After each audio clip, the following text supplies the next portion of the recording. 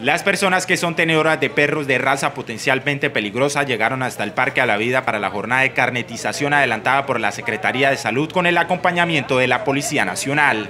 La comunidad de Barranca Bermeja, los tenedores y propietarios de los animales de razas peligrosas han acudido masivamente al llamado que hizo la Secretaría de Salud para hacer el censo y actualización de datos de aquellos animales de razas potencialmente peligrosas. Estamos desde las 7 y 30 de la mañana atendiendo, la comunidad ha venido masivamente, eh, la respuesta de las personas ha sido masivo y hemos con mucho beneplácito hemos observado que las personas efectivamente efectivamente le están eh, teniendo a su animal los elementos de protección, como es el bozal, el collar de ahogo trailla, tienen los animales en excelentes condiciones. Asimismo, la funcionaria invita a las personas que tienen en su poder perros de raza potencialmente peligrosa para que asistan a estas jornadas de carnetización que se estarán realizando en diferentes puntos de la ciudad. El censo se está proyectado para hacer cuatro sábados consecutivos. Hoy es el primer sábado. El siguiente sábado vamos a estar eh, desde las 8 de la mañana hasta las 11 de la mañana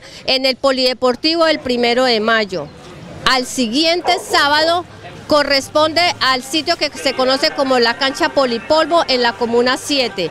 Y ya el siguiente sábado, que es el último de los cuatro sábados, vamos a estar en el Parque del Bosque, del barrio El Cincuentenario. La invitación es que la persona se acerque, hay que llevar el canino para que el médico veterinario del equipo de médicos veterinarios de la Secretaría Local de Salud pueda revisar al perro y pueda mirar que el perro eh, tiene las condiciones ideales para estar en comunidad. La jornada de carnetización busca que se tenga un registro de los mismos, además de que las personas le tengan los elementos de protección a los animales.